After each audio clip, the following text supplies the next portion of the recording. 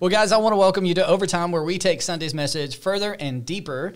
And we are in part two of the series called Hope for the Holidays. And this last week, I, I talked about this idea that uh, we can relate to God as an Abba Father. And uh, the implication of the Christmas story, I shared an incredible story of Mick and Tracy Hooper, who are just remarkable people, their radical love. And, you know, at the end, I just said, hey, I think one of the greatest gifts we could give ourselves if you're a follower of Jesus is to remind yourself that you don't have to relate to God as a transaction, you don't have to relate to God as a judge, but that God is truly your heavenly Father. You can relate to Him as an Abba, as a dad, as a papa. And then I said, and if you're not a follower of Jesus, I think one of the greatest Christmas gifts you could give yourself is to actually make that transition of trust from yourself to Jesus Christ for the forgiveness of your sins. So we talked about all of that. There's so many different pieces of Sunday's message. And so today I want to go further with that. And I'm excited to have a conversation with my friend Adam Ulatoski. Did I say that right? You nailed it. Yep. Did I really? Yeah. Oh, that felt pretty good then. Yeah. You know, my last name, Giebelhaus, you know, Ulatoski. These Yeah. are some difficult last names. Yeah, they're long too. Yeah. What is the origin of that? Polish. Polish. Okay. Have you studied that before? Have you gone back and like, hey, here's the Polish thing? Um, not too much. I know at one point it had a W in there that got uh, got taken out. Yeah. So, you know, and I, I think it was Olatowski is how it was said in Poland. But Okay. yeah, I can. I don't know. I don't know which one's easier, but Yeah. I like Ulatowski. That sounds like, yeah, like, here we go. Anyways, that's not why I asked you to come here to talk about our last names. But man, thank you for hanging out and just having this discussion. yeah, happy to be here. Yeah. So I know you a little bit, and uh, we've had some conversations about life and family and God and you know football and that whole thing. But if you could just share a little bit about like who are you, maybe your family, you know, how'd you come to Northpoint, Sure. that kind of stuff. Yeah, so um, I'm married to my wife Emily, and we have two boys, uh, Evan and Daniel. They're uh, one will be five in February and six, and they are uh, pretty crazy. Um, Five and six. they will. He will be five in a couple months and Okay. six. Yeah. Are you guys sleeping at all at night? Yeah, it's better. Yeah. It's better. Yeah. That's good. all right. So two Uh, kiddos. Yeah. Um, uh, so I came to Austin. I, I went to school at Texas, played football there, and then uh, we never left. And my wife, she was a teacher up at Parkside, um, where Northpoint first started. And then after we had the boys, um, we wanted to kind of raise them in church, and so we started, you know, coming here and. Um, you know, she was obviously familiar with Northpoint because of that, um, and I know there's a lot of people from Parkside that, that attend here as well. So, um, you know, that's that's kind of how we got here. Now, where did you meet Emily? Uh, I met her in college, uh, Okay. my my freshman year. So, uh, So she's a UT grad as well. she is as well. Yeah. This is fantastic. I mean, let's just rest in this moment. UT right here. Go horns. yeah, Yeah, we could use some of that, I know. actually. I know. I feel that with you.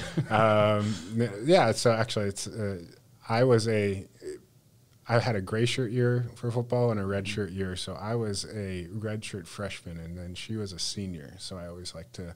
oh wow. but year wise, age wise, we're a year apart. But Okay. I like to tease her that she was Yeah. a senior dating a freshman. That sounds like a massive span. yeah. yep. So she got you. yeah, You got her. yeah, That's awesome. So I, I know like one of the fun things, you know, that uh, getting to know you, there's been a lot of really cool things in terms of who you are and your experience and journey with God. And, uh, but also, you know, we've talked about football a little bit. And so I know you played for UT and uh, I think uh, like your, year- when did you go? What were your years at UT? I was there from 2005 to 2009. okay. Um, yeah, so It's like 15 years ago. I didn't mean to remind you that way. Like, yeah. oh, that was 15 years ago. well, I, I think of it as you know, kids that are going to high school right now. They haven't they haven't seen really Texas at to where Texas should be. I So know. it's a little disappointing, but So you were part of the Um, glory days, you know, back then. I was a part of it. Yeah, I was I was fortunate. So. what was uh, you were t- there in 2000? What?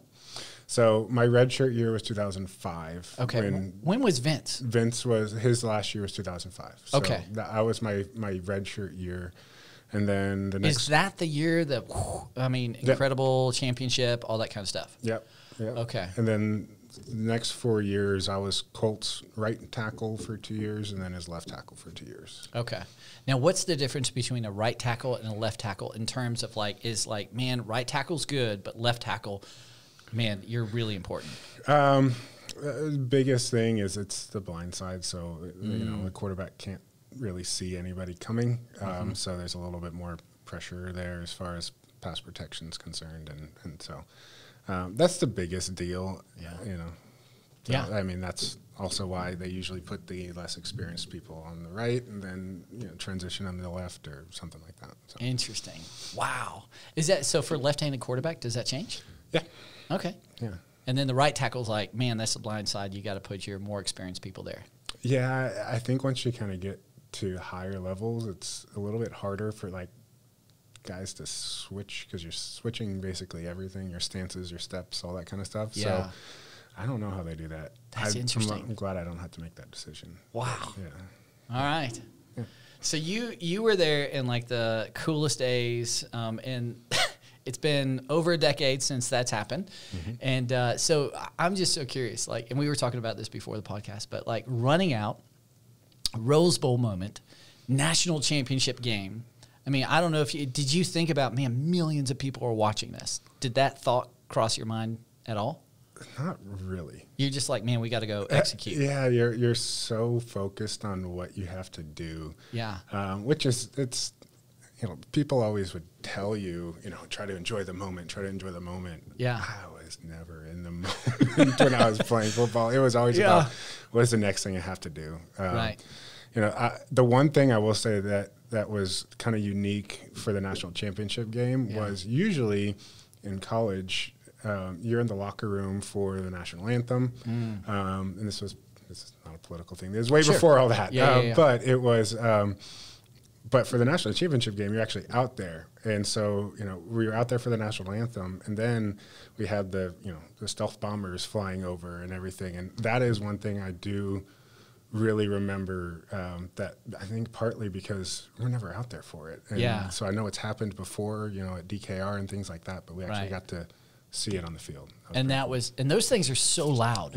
really loud. Yeah. And so, like, popped you out of the moment, and Mm-hmm. uh, in terms of like, I got to go execute, and you're like watching that, going, "Wow, yeah, that was one of those like, oh, that was really cool, that is awesome." And then back to it. Yeah. Yeah. and do you ever like when you're standing there? Do you look up at the crowd and go, "Man, national championship game! Like this could be one of the biggest moments of my life right here." And you're like looking at and just trying to like, you know, breathe that moment, or is it like that happened? Boom, you just go right back to, okay, now here's what I got to do, and we're got to get ready. You know, I wish I did. Yeah. I wish I did, but I, I really didn't. It Yeah. was, you know, beforehand, you know, you'd get some, you know, worries and anxieties about it. But Yeah. once you got there, and really once, you know, a lot of people tell you, once you kind of get the first hit in, Yeah. your focus completely switches to that. Yeah. Um, where, uh, I don't know if with golf, if that's like once you actually kind of Yeah, tee, Tee off, off, the first hole. you are know. like, okay, now, Yeah. now I'm going. Yeah. So I, yeah, it's kind of like that. Like once you're actually in the game, Mm-hmm. um, you're just so laser focused on it that it's Yeah. You know a lot of the things that people would think is distracting, you don't even realize is going on. Yeah. Yeah. Interesting. Now, who's the craziest guy you ever played against? Like, you're sitting there, first hit, you're like, goodness, this dude is like, yikes, I'm nervous now. You ever have that? Um, I'll say the best player I ever went against was actually on my own team. Was Oh, really? Brian Orakpo. Oh, he yeah. was really good. Um, but mean, I went against some some pretty good guys. Um, you know, I went against like Gerald McCoy and then Yeah. Ndamukong Suh and What makes Ndamukong Suh so like, I mean, is it more reputation, right? Uh, That guy just seems like, oh my gosh. Like, So I only went against him about three snaps because he's defensive tackle, and I'm Yeah. So, um, and you know, uh, on the outside, it's a little bit different than you know when he's going. But I mean, I know there was one point uh, against the Nebraska game that we had one of our, our guys, and um, he was he had everything done perfectly. He had he had his arms locked out. He had everything, and he just reached over our, our guard and grabbed Colt and like threw him down. And it's like Oh no! He What do went, you do? He went to the sideline, and our coach didn't have anything to. do. He's like, I don't just- know. Keep trying. I, you know, so I, it's one of those things when when he turns it on, it's almost like he's a superhuman type Yeah. thing. So, uh, Gosh. yeah. Well, that's cool, man.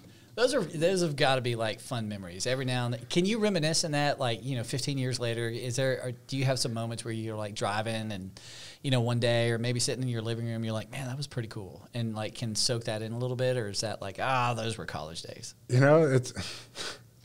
I don't completely honest, and I think a lot of it is because what we were talking about before is I was very rarely ever in the moment. You know, when when I was playing, it was all about, you know.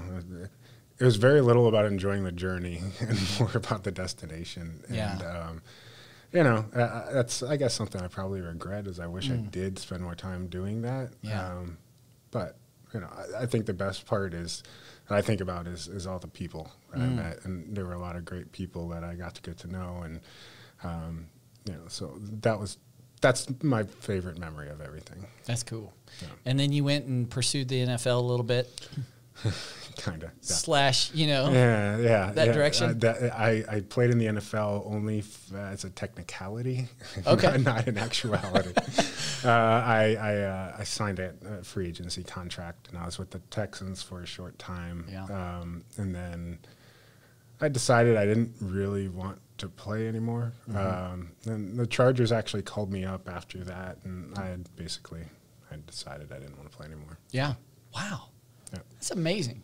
So I, I would imagine, I mean, you know, playing in the glory days, and I really hope they come back to UT. I don't know what's going on. There's some funk, but I hope they come back. But you know, all the you know football experience you had, you know, going to the NFL, you know, even on a technicality. I mean, just to be in the presence of you know that kind of coaching and those kind of guys and that kind of like you know, there's so much determination and so much work ethic and so many lessons you've learned. So I'm back on that I've learned in my football career that I apply like just to everyday life, maybe marriage or parenting or work or just everyday life. Yeah, they, uh, I think that's you know that's one of the best things about football, were some of the lessons that you learn that I think is really they're they're difficult to come by in just everyday life. Um, you know, one I think is the the team aspect of it. Um, I think that you know I'm a little biased here, but I think Sure. that, I think that football is is by far the greatest team sport because uh, there there's no Michael Jordan taking over the game. Right. You need to depend on other people in order mm-hmm. to achieve that. And you know, and, and listen, I know Vince was a big deal of winning the game, but Yeah. People forget how many balls David Thomas caught and all the blocking that the O line did, and Right. you know, everything else, and the defense getting a stop on the fourth and one. And I mean, it it really it takes everybody. Yeah. Um, you know, and you could have the greatest quarterback in the world, but if the offensive line doesn't block for him, doesn't matter. Uh, Mm-hmm. Right. You know. Um, so I think I think just from that perspective, the the having to rely on other people um, Mm-hmm. and and how you then turn that into an actual team Mm. um, is is one of the best lessons. Um, the other one is you know you, you don't let one mistake turn into two. Mm. so Mm-hmm. um, you know as, as we were talking about it, it, in pass protection or blindside. I mean, if you you're going to give up a sack eventually. Mm-hmm. At some time over your career, you're going to, and you can't let that turn into two. You can't stay down in that. You have to then refocus, figure out what went wrong, and, and fix it, and go on to the next one. And so I think, um, you know, it, it helps you kind of learn from failure, I guess. Um, so uh, you know, I think there's a, a lot of things that I got from it. That's fantastic. Have you seen, um, as you were saying, don't let it turn into two? There's a show on Apple TV. It's the guy who's a soccer coach. Dude, what's that called? I don't know. I've seen previews for. What's it called? It- Julie? Ted Lasso. Have you watched that? I haven't watched it, but it looks pretty funny. Yeah, well, there's a line in there, and there's some like great, great things in it. But there's a line in the Ted Lasso show that he says you got to become like a goldfish, and apparently goldfish have like the shortest memory of all time. So it's like, ah, you know, I don't know what you do in a goldfish bowl that you're like, ooh, messed up here. You Yeah. know, I swim left. I should have gone right. Yeah. you know, but it's, it, you know, his lesson was, you know, you got to be like a goldfish. Which when you said that, you know, I think there's such valuable lessons in our mistakes. Mm-hmm. There's so many things we learn in life, which we don't want to make mistakes, but if you don't learn, you know, make mistakes, you don't learn. And, you know, if you don't become like a goldfish to go, oh my gosh, maybe there's value in that, you know, maybe there's something I can learn. You've got to, you know, don't, don't take a sack twice or, you know, don't give up the blind side twice. I mean, you know, I, I love that. So be a goldfish. And your statement, what'd you say again? How'd you say? Don't don't let one mistake turn into two. Yeah. Yeah. yeah. That's a great lesson. Yeah. It's a great lesson. Awesome. So I would love to talk about football like all day long and be like, hey, what's up with the Cowboys? and what's up with, you know, and how about Tom Brady and, you know, Tampa Bay? What do you think of that guy? But, uh, but we are, you know, talking a little bit about Sunday's message. Sure. So I'm just going to transition real quick over Okay. there. Very good. So Sunday, I was talking about, you know, the Christmas story and the significance of it beyond like the idea of like all these little trinkets in your yard and you know lights and all those are wonderful and I think that's a you know fun time of year to go and you know my neighborhood down like towards the end it's Mm, yeah, that's right. yeah what's it called Warnock. Warnock Yeah. yeah it's crazy what It's really people cool. do Yeah. and it's like you know every home's like the Griswold home, Mm-hmm. and it's really cool. And I love that about Christmas. But the real historical significance is God sent Jesus Christ into the world, and He did that so we could have peace with God, so we could be forgiven, so that God's justice could be satisfied, you know, through the sacrifice of Christ, so that we could stand before God and know that we could experience His mercy, know that our eternity is secure. And then, you know, I went on on Sunday's message and to say, not only that, because that feels transactional, that feels like judicial, but then to move to a place to go, the ultimate reason why he came is so that we could relate to God as Abba Father. And that word is an Aramaic word. Abba means like dad or papa. Like it's that rich and that relational. And as uncomfortable as it may make people feel, like that's the outcome. So Jesus came to go, man, I want you to know God, and I want you to have such a intimate relationship with God that I'm willing to give my life so you could be forgiven and then take steps and grow to a place to have that kind of relationship, which is really cool. So that's what Paul was talking about. And I know just on our conversations, and even the story you did a video one time about the story of sitting in Northpoint, hearing us go, "Hey, our mission is to lead people in a growing relationship with Jesus Christ," and you're like, "Oh, what does that mean?" Yeah. yeah like what's the point of that like and so it's been really um, fun to hear how god has worked in your life and one thing led to another and that decision that you made to go hey i'm going in i'm putting my trust in christ um, i'm really curious if uh, you know to talk about that to you know if you would be willing to like Sure. say hey what did that look like for you and you know what led to taking that step to put your faith in christ? Yeah, I, I think um, probably need to take a little step back and, and kind of go through my my understanding of what Christianity was beforehand, because I, I was raised in the church, and um, you know, I, like to say that what I heard, because I don't really know what was said, but what I heard was, you know, I basically I have to perform and and earn my salvation and. Uh, God was judge, jury, executioner, and um, you know all those things, and, and a relationship with God was not something that I had ever really pursued, or even knew was something that you could pursue. Right. Um, a- and, so it, uh, when I started hearing that, at first, at first, I, what I thought was, oh, is just kind of a fancy way of saying they're going to try to convert people to Christianity, you know, and, and that's what I thought, and because it was a brand new concept, and so when I um, it kept coming back and um, and started to really kind of get a better understanding of what that really meant. Um, and you know, one thing that I, I remember thinking back is I would always see people with this just, you know, great faith uh, in God and, and just everything you know that you would want in a relationship with mm. God. And, and but I didn't know that's what it was. Mm. And, and I would see it, it's like, man, I wish I had that. Mm-hmm. I don't have it. Mm. You know, and, and I thought it was just one of those you have it or you don't. Mm-hmm. sure yeah Uh, you know, and, you know, I, I don't know why, but I was always just this thought. It's like, well, you either you, you get it or you don't, and I guess I don't got it. Um, and, and I never really thought, well, me, what have you actually done to try to get it?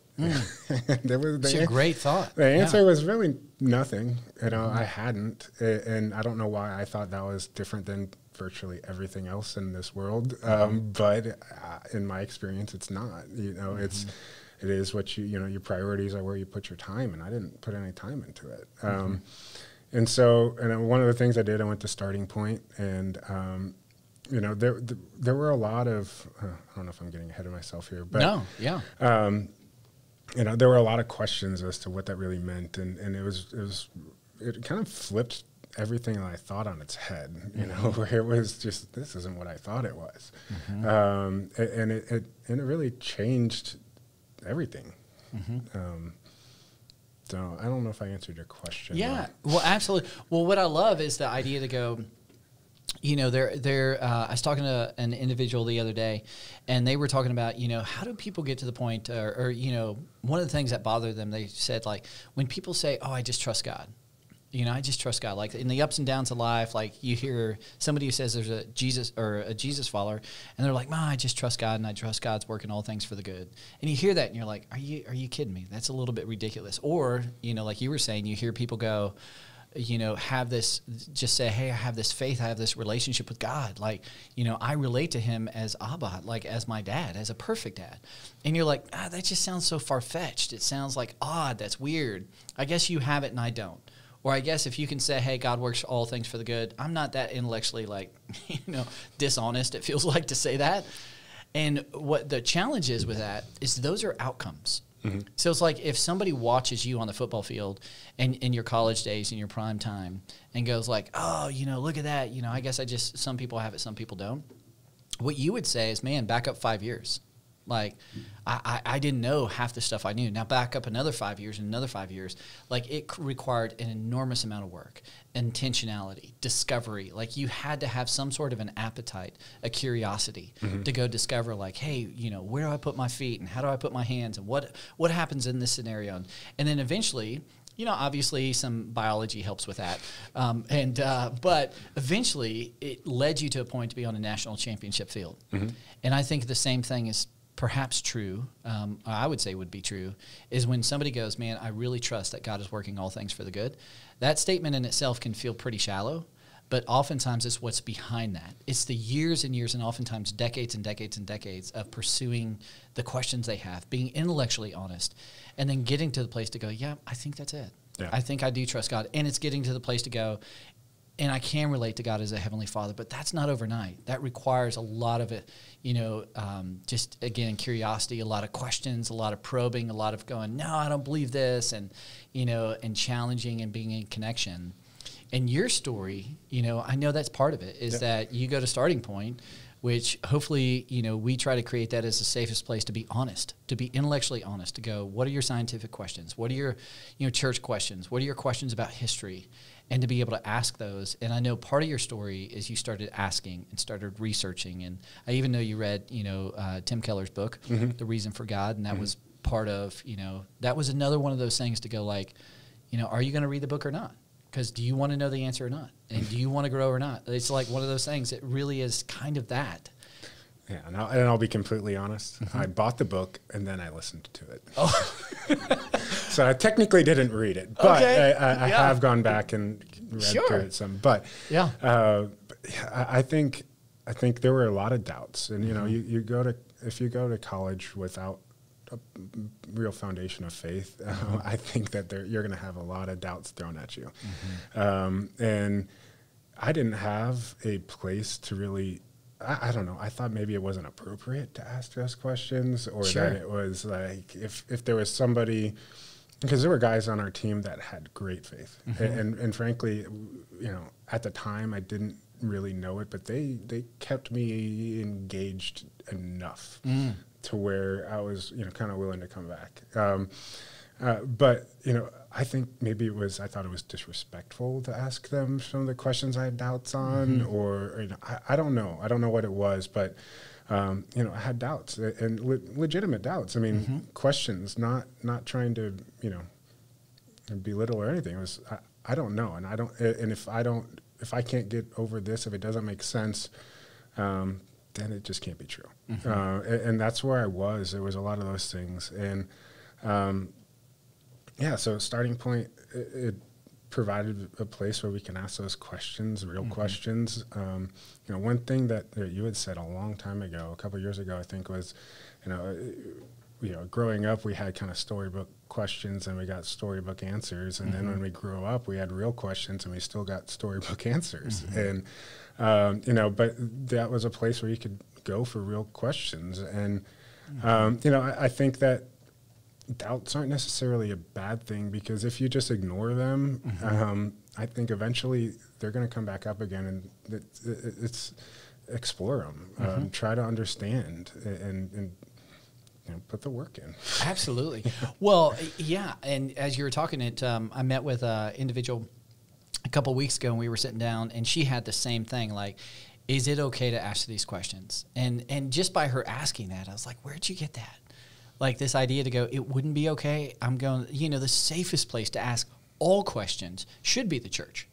And so, you know, she was talking about the same kind of thing that she's got doubts and she's been through hardships and difficulties and you know, she was sharing about, you know, that uh, somebody she loved, uh, you know, passed away unexpectedly and at the, you know, a terrible time. It's like in the prime of their life. Like, why? Why? And, you know, one of the things I was able to talk about is even in the scriptures, you know, the guys who like were with Jesus. So you think of John the Baptist. I mean, the guy baptized Jesus. That's that's pretty impressive. And then, you know, things get d- difficult. Now he's in prison and he probably knew, hey, my days are numbered, like literally like a couple days. And all of a sudden, you know, his humanity creeps in. And even though John the Baptist was given the very Spirit of God in the womb of Elizabeth, like he still had doubts. Even though he baptized Jesus, was with Jesus, saw that miraculous moment, he still had doubts. And he's like, send, he sent his disciples and said, Can you just talk to Jesus one more time? Just ask him a few questions. I just need to know he really is. And then think of Thomas. I mean, Thomas is like, you know, doubting Thomas. Jesus, are you sure? Analytical Thomas, like, really? Hey, come here. Let me see those marks. You know, did, are you the one who died on the cross? Because this is really hard for me to believe a resurrected Jesus. Yeah. And I really hope that your story, and I hope the stories in the scriptures, and I hope just this conversation can lead folks who are listening to go, you know what, I'm going to ask my question. Yep. I'm going to be courageous enough to take a step and not feel, you know, shame or not feel foolish or not feel smart enough or not feel like, uh, you know, inferior. I think it's such a position of strength and uh, to be able to go like, hey, I got honest questions. Here they are. Yeah. So, and I love that you did that. Yeah. I'm glad there was a place to do it. Yeah. You know, uh, and I think that the, the atmosphere there, I, it's welcoming to that um, mm. because I, I, don't I don't think even if in big church you know mm-hmm. I don't think that's a a place real conducive to that mm-hmm. you know and it's yeah. not it, it's nothing wrong with that it's sure. just a, a, separate environment for it uh, mm-hmm. where yeah. Um, that well on Sunday um, so I talked about this idea of uh, what Paul talked about. So it's really Paul's idea, not my idea. But Paul was saying, hey, you know, Jesus came in, Christmas story is all about the idea that we can have peace with God. Like Jesus was both the just and the justifier. So, you know, he paid for our sins. He lived the perfect life. He was the perfect sacrifice to satisfy the perfect justice of God for your sin for my sin. And that's that's awesome. I mean that's really good news but i think oftentimes for you know especially people who've grown up in church or maybe you know you're just maybe you, you would be new to church you're like okay that's great but that feels so transactional. It feels so much like you know courtroom and judge and jury and okay god you know i'm forgiven i'm not going to hell you know it's all good to go. And then it's like i'm going to live my life now. Right. you know? And paul said no no no it, it, you know that's almost like a warm-up act and then he goes on to say, hey, as a result of your faith in Jesus, you are adopted as a son, as a daughter of God. And that's a huge deal because now you have the right to be a child of God. Now you are a new creation. Now you have a new identity in Christ. And he's like, man, that's awesome. And then he takes it one step further and he goes, and you can approach God and relate to God as an Abba Father and on Sunday I talked about that word, and you know I said that word is just such a unique word because there was no like Greek equivalent, and he was originally writing a Greek, and so he had to pull this Aramaic word because he knew it fit the context better, and it was much more intimate, much more relational, which is like for us to think of God as like dad, mm-hmm. or us to think of God like Papa, like you can relate to him that way is like okay that freaks me out a little bit, so. Why do you think like that's just difficult for us to get to that place with God to go, yes, He is God, but yes, He's also through Christ invited me to relate to Him as Abba Father? Uh, I think that we try to apply what we know, and what we know is this world, and so it's like going up to the CEO of the company and being like, "What's up, dude?" Yeah. It's That's a good way to put it, yeah. Oh, I, and I, I think that um, you know we we uh, I think there's almost this. Um, I don't know. Maybe it's similar to the reason that we're afraid to ask questions. Is Mm-hmm. like there's this level of respect that we think, oh, I don't want to, you know, go too far with this. I don't want Mm-hmm. to, you know, offend anybody or, or anything like that. And I think that that might be part of it. Mm. Um, I'll say for me personally, though, once I became a father, um, it helped me kind of put some things in perspective when you think of God as your father and, and truly as your father. I mean, there's so many times uh, where I dealing with my my boys and I and just like you you know they think they know everything A- and they can't understand why we would have them do X, Y, or Z. Um, a- a- and it's they're like, five, I- and they're yeah. like, "I have the world figured out, Dad. Leave me alone." And so, you know, I'm like, well, if I kind of move things forward a little bit and God is uh, omnipotent, then maybe there's something I don't know. Mm-hmm. maybe, maybe I haven't experienced life enough yet, or, or maybe I haven't experienced after that. Uh, you know, so I think there, that that helps me, um, where you know, it also helps me r- reconcile things that maybe I think aren't fair. Mm. Because I don't know how many times I hear it's not fair at home as well. It's like, Mm-hmm. but it is. Yes. Yes. Yes. so uh, yeah, I, I, that that's helped me a lot. Yeah, I've read so many uh, different like theologians and you know biographies that talk about that inflection point of having kids. It's like my relationship with God was this way, but then I had kids, and I began to understand theology. I began to understand God like at a different level, and it's like that was a you know a pivot point for people to go, wow, you know it. And uh, to understand that, I think you know, for me, I, I would say one of the things, and I don't know for you, but I think to relate to God that way is something that I haven't personally tasted or experienced, and as you were saying, in this kind of, you know, finite uh, world. And so my my relationship with my dad like wasn't close to that. I mean, I, I there were maybe moments, and I longed for that that kind of connection. I longed for that kind of intimacy with my father, um, but I I didn't get to experience that. And then, you know, for me, one of the challenges is, and then when I hear Paul's or, you know, read Paul's words about this idea that you can relate to God in this very intimate and really, you know, relational way, I'm going, ah, I don't even know what that looks like. Um, you know, that's hard for me. That's hard for me to even comprehend or get my mind around or get my heart around. Yeah. And um, you know, that's one of the things I love about Christianity and I love about the the letters in the Bible is on a lot of these things it's stretching you. It's saying this is before this is something that potentially could you could step into, you could lean it's like this, you know, the old church word is, you know, the sanctification process. It's like there is something sanctifying. There's something that is being shaped and formed and molded you know, that God has put out there to say, here's what I desire for you. Here's where I'm leading you to, something far better. But it's hard because, you know, sometimes when you don't, don't experience those kind of relationships, it's like, God, Dad, Papa, mm, it's tough. Yeah. No, I, I think. I guess I, I again I go back to my kids, and there's times where I'm just like, just trust me, I love you. You don't, you don't feel it right now, but I do. Yeah. Uh, and, and you know, I want them to come and talk to me, and I want them to, you know, figure things out with me, and, and all those kind of mm. things. And then I then what I try to do, you know, mm-hmm. not very good at it, but I try is Yeah. then, you know, kind of put myself in the position of my kids, and like, okay, well, if this is what it's like, then maybe I need to do my part as well. Mm-hmm. Yeah, I love that. So you've experienced a lot in life. Um, you've been on uh, some highs of highs in football, um, and uh, and and have seen stealth fighters in the Rose Bowl, which I mean, just mark that as a moment. That's pretty cool. Um, and um, and so and you've been honest with your faith, and you know, intellectually honest with your faith. And and I love that, and I love that curiosity, and I love that idea to go, hey, you know, just because I don't understand it doesn't mean I'm going to reject it and make fun of it and make fun of people who believe it. I'm going to actually ask questions about it. And that's on the other side of you what I've seen.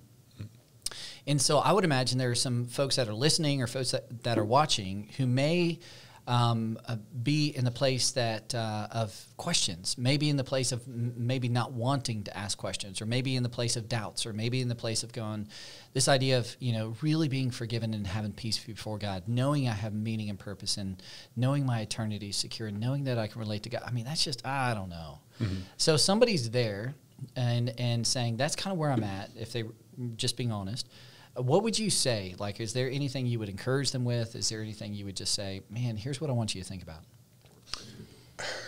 Um, it's a tough question, and I don't necessarily feel uh, in this. Fight. Adam, it's your time to speak. um, you know, I would just, I guess, encourage you to earnestly seek it and and do that with a, a curious but open mind. Mm-hmm. Um, and you know, it is something that it's it's not just it doesn't just happen. Mm-hmm. You know, at least in my experience. Mm-hmm. Um, you know, you, you, you ask the questions, do the work. Put ask the questions that you want. Research the questions. There's tons of resources out there that, that mm-hmm. you can that look at and and see if that makes sense to you. Um, mm-hmm. you know, and, and for me, part of um, part of it was also humbling myself mm-hmm. and not uh, not feeling like I knew everything, and mm-hmm. that if if I couldn't explain it, then it's not true mm-hmm. um, because you know there's a lot of things that I believe that I can't explain how they work, mm-hmm. uh, and I'm not talking about God, you know, mm-hmm. just things in the world, everyday I mean, life. Yeah, yeah. Um, and so I, I, think it's it's it's a little bit of, of humbling yourself, earnestly seeking. I, I, believe that if you are, if you look for Him, He's waiting for you. Mm. Um, but you have to you got to take the first step. Wow. Um, and um, you know. I know there's lots of things that we do here at the church. There's mm-hmm. places that you can ask questions like Starting Point. Um, you know, the book uh, "A Reason for God" by Tim Keller that mm-hmm. that did that helped me a lot. It's um, a great book, and he he just he goes through a lot of the you know, a lot of the the doubts that that we think we have are mm-hmm. unique are not very unique. Mm-hmm. they're, yeah, they're very common among a lot of people, and there's good reasons. Um, reasons for the doubts and there's good reasons or there's good responses to those too mm-hmm. and um, so I, I, think the hard part for some people is that um, they also have to maybe admit they were wrong. Mm.